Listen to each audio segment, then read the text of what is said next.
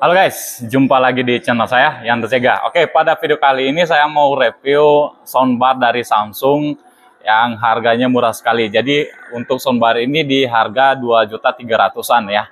Jadi ya tiap toko ya pastinya beda ya. Nah, untuk dari soundbar ini ini ukurannya segini. Ini soundbarnya seperti ini. ya, teman-teman, ini bisa dibawa Pak ke mana-mana ya, bisa dipindah-pindah, simple banget ya soundbarnya. Dan untuk power suaranya ini dari segi wattnya aja sudah 430 watt teman-teman. Jadi lumayan sangat kenceng sekali ya untuk dari suaranya. Nah di sini ada tiga speaker ya, soalnya ini di di keterangannya ada 3.1. Jadi 3.1 ini uh, di sini ada speaker 3 dan ada satu subwoofer untuk ngebasnya. Oke teman-teman, untuk tombol manualnya nanti ada di depan sini. Tombol manualnya dan di bawahnya ada buat HDMI 2 ya. Ada dua HDMI-nya, ada dua juga buat optikal. Jadi di, kalau di TV-nya pakai optikal, teman-teman juga pakai optikal. Terus di sebelah sini, di bawah sini semua ya. Di sini juga ada buat USB, jadi bisa support USB juga. Terus ada di sini buat daya listriknya. Oke, lumayan berat ya ini. Oke, saya ukur dia uh, soundbarnya dulu ya.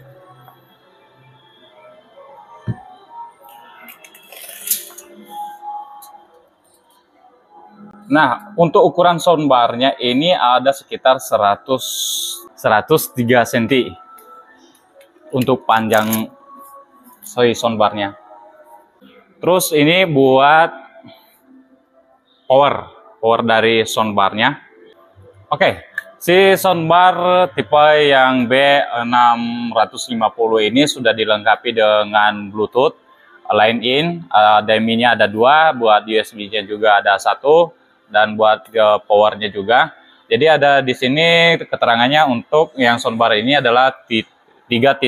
Jadi di mana speaker ini speaker yang di soundbarnya itu ada tiga dan ada titik satu yaitu subwoofernya dengan power suaranya ini ini ini 430 watt. Nah, kalau misalkan untuk soundbarnya saja ini wattnya dua daya listriknya ini 25 watt dan yang subwoofernya ini wattnya 45 watt. Untuk dari bahannya juga sangat kokoh sekali. Kalau misalkan untuk dari uh, tampilannya juga sangat simple banget ya. Dia lebih bagus dan tidak banyak reward dari kabel ya. Atau misalkan mau taruh si soundbarnya ke mana atau tempat lain jadi uh, dia lebih simpel ya nah kalau sudah terkonek atau menyala subwoofernya dia warnanya jadi berubah jadi warna biru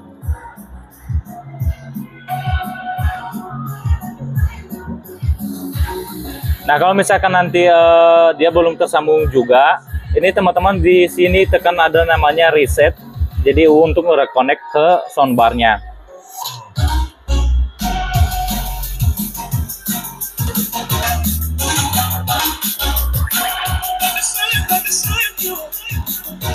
Nah, di sini ada ya gambarnya.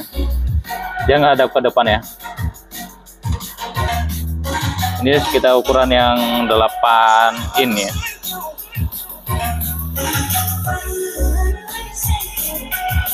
Oke, demikian teman-teman. Kalau misalkan teman-teman kurang mengerti dengan yang saya jelaskan tadi atau mengenai barang ini, teman-teman bisa tambahkan di kolom komentar. Untuk link barangnya juga nanti saya akan taruh di link deskripsi. Jadi teman-teman bisa langsung check out harganya berapa. Itu juga langsung di Shopee atau misalkan di Tokopedia langsung. Oke, sekian dan terima kasih. Sampai jumpa di video selanjutnya. Jangan lupa like, share, dan subscribe. Bye-bye.